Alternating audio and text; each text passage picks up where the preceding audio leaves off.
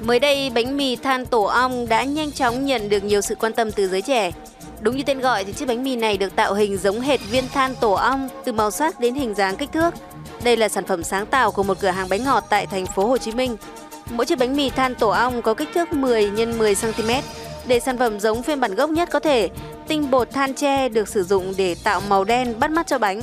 Nhiều thực khách vì tò mò muốn thưởng thức hương vị chiếc bánh độc lạ mà không ngần ngại đặt mua dù ở xa. Nhờ một số bí quyết riêng nên bánh vẫn mềm mịn thơm ngon khi vận chuyển đường xa. Bánh có thể để ở ngăn mát tủ lạnh 2 đến 3 ngày mà không làm giảm chất lượng. Mỗi chiếc bánh mì than tổ ong được bán với giá 95.000 đồng.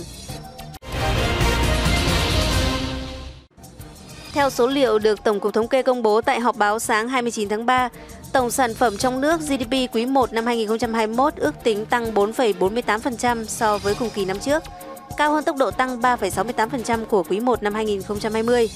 Trong mức tăng chung của toàn nền kinh tế, khu vực nông lâm nghiệp và thủy sản tăng 3,16%, đóng góp 8,34% vào mức tăng trưởng chung.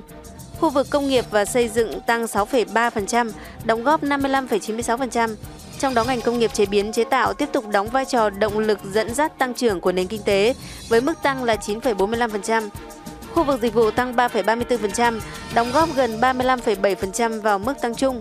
Trong đó các ngành dịch vụ thị trường như bán buôn và bán lẻ tăng gần 6,5%, hoạt động tài chính ngân hàng bảo hiểm tăng gần 7,4%. Theo Tổng cục Thống kê thì trong 3 tháng đầu năm nay, cả nước có 40.300 doanh nghiệp tạm ngừng kinh doanh có thời hạn, ngừng hoạt động chờ làm thủ tục giải thể và hoàn tất thủ tục giải thể, tăng 15,6% so với cùng kỳ năm trước. Đây phần lớn là các doanh nghiệp trẻ, quy mô nhỏ, dễ chịu tổn thương do tác động tiêu cực từ bên ngoài. Tính trung bình mỗi ngày thì có khoảng 448 doanh nghiệp rút lui khỏi thị trường.